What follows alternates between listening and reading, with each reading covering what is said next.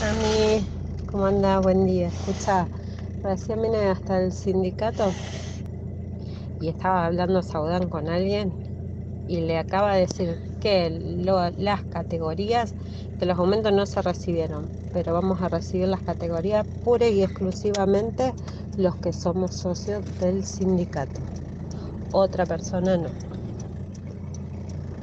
Así que bueno, detallecito.